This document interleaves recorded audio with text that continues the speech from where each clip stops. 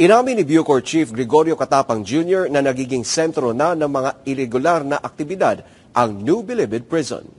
Araw ng Huwebes ay pinagpatuloy ng Senado ang pagdinig sa umunoy na kompromisong seguridad ng New Bilibid Prison. Sa pagdinig, si Person Deprived of Liberty o PDL Michael Cataroha ay muling iginiit na sumakay siya sa isang truck para makatakas sa maximum security na ayon sa mga senador ay hindi pa rin kapanipaniwala. Alam mo, Michael, nahirap talaga maniwala doon sa sinasabi mo eh.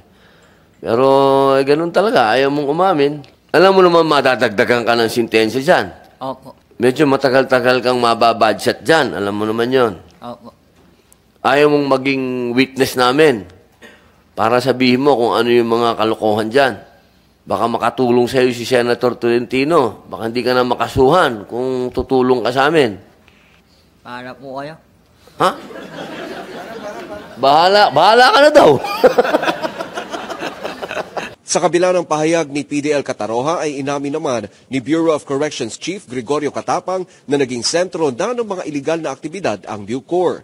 Kabilang dito ang paggamit ng mga preso sa mga krimen sa labas ng kulungan tulad ng insidente ng pagpaslang sa mamamahayag na si Percy Lapid at maging sa droga dahil sa laganap na paggamit ng cellphones. Paliwanag ng pinuno ng Bucor na nagagamit din sa krimen ang iba pang mga preso sa katwirang kahit mahuli sila ay babalik lamang sila sa kulungan at hindi rin basta mahuli dahil kontrolado ng Bucor ang mga bisita sa loob ng bilangguan.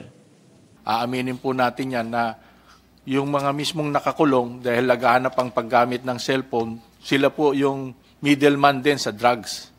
No, sabi nila, eh, kung mahuli man kami, unang-una hindi kami basta hindi sila basta-basta makakapasok sa amin dahil kontrolado ng Bucor ang pagbisita. So, pati po 'yun. Nahawakan po nila yung drug problem kahit kaya pag nagte-testify po ang PIDEA, NBI, sasabihin nila, dito po galing ang uh, transaksyon ng mga drugs. Sa pagdinig sa Senado ay binunyag din ni Katapang ang modus na paggamit ng kondom ng mga babaeng bisita sa loob ng NBP. Ani Katapang, pinapasok sa loob ng kondom ang mga droga pagkatapos ay pinapasok naman sa pribadong bahagi ng katawan nito.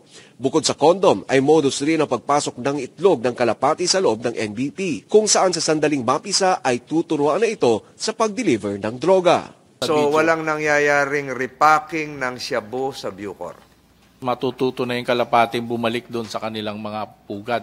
Ipinaliwanag rin ni Katapang na patuloy ang congestion sa mga kulungan sa NBP dahil huling napatayo ang kulungan ay noon pang 1973 kung saan kaya lamang nito na accommodate ay labing dalawang libong preso. Subalit ngayon ay nasa mahigit 50,000 na ang mga PDLs. Dagdag pa ni Katapang, naging kultura rin sa loob ng kulungan ang kawalan din ng sense of duty sa mga tauhan ng Bucor, kaya't isa sa ginawa niyang hakbang ay palitan ang lahat ng mga tauhan.